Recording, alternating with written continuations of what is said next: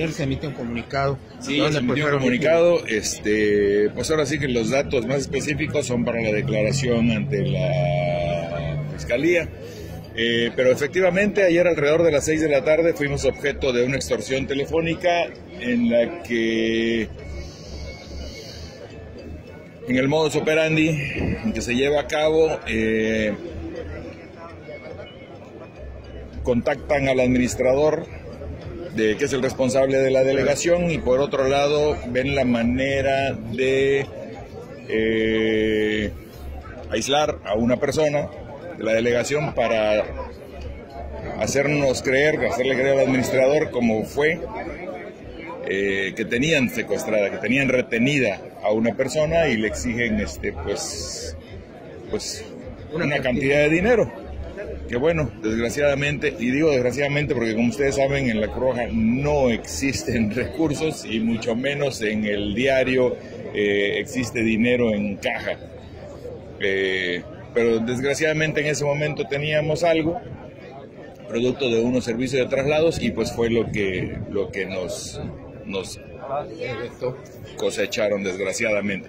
Afortunadamente para el personal de Cruz Roja es que pues no hubo ningún lesionado. Eh, pues es lo que todos conocemos como extorsión telefónica. Eh, ya platicando con el abogado de Cruz Roja Mexicana y con gente de la Fiscalía, pues es el modus operandi que seguramente además proviene de algún penal en la República.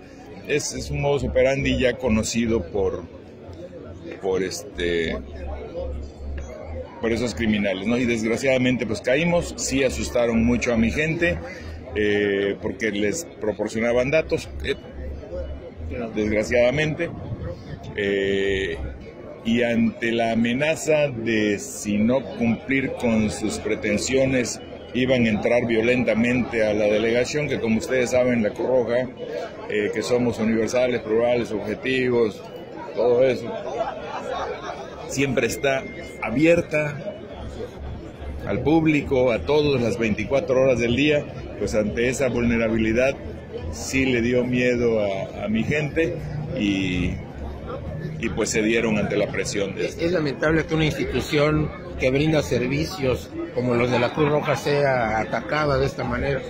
Pues es lamentable para todos, no porque seamos la Cruz Roja, pero es lamentable que le suceda a cualquier mexicano efectivamente pues a una institución que lo único que se dedica es a hacer el bien y con recursos muy escasos porque pues, como tú sabes aquí no hay presupuesto, no hay nada, sino que operamos con la buena voluntad de la gente, pues que, exista gente de muy mala voluntad porque te aseguro que es que si algún, cualquier persona, te recuerda que la Roja atiende absolutamente a todos, ya sea malhechores, este, gente buena, nosotros, así es.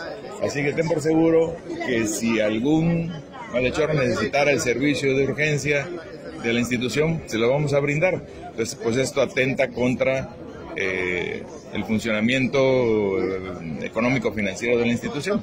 ¿Alguna recomendación que le haya eh, generado al personal para los próximos días que se realice pues, la investigación? Pues en primera ya se ya se hizo la, denuncia correspondiente, eh, pues a todo mi personal, con la, con la con las autoridades, brindar todas las facilidades, aportando todas las pruebas que se puedan tener. Eh, y dentro de la institución, pues mayor unidad, hay que cuidarnos entre todos. Eh, pues vamos a tratar de, cuidar un poquito más la parte de la seguridad de las instalaciones, aunque de hecho ayer en la noche que estuve ahí después del evento, eh, algún voluntario con más miedo que otros estaba pidiendo que hasta una solicitara una patrulla y que se apostara ahí. Yo pues realmente no tiene ningún caso porque esto, esto que sucedió es una extracción telefónica, las gentes no estaban aquí en Campeche. Eh, así que peligro real, inminente, físico para la delegación y los voluntarios no lo hay, ¿no? De todas maneras, pues sí vamos a buscar la manera de eh, mejorar los aspectos de de seguridad en las instalaciones, ¿no? Para nuestros muchachos. Nuestras ambulancias tienen GPS, así que en el caso de las ambulancias sabemos exactamente dónde están todo el tiempo. Eh, pues bueno, veremos que en el futuro todo, tú que todo se, refiere a, la parte económica, pero veremos que en el futuro no solo tengan GPS, sino que tengan cámaras de video con audio, como lo tienen las patrullas también, aunque en este caso no fue a través de una ambulancia que se hizo todo, todo el relajo. son gente, son criminales que, que tienen esto bien armado y fue este, a través de los medios particulares de, del personal que lo llevaron a cabo, no a través de, de los vehículos de la institución que, tenemos, que podemos ubicar todo el tiempo. Eclipse, televisión digital.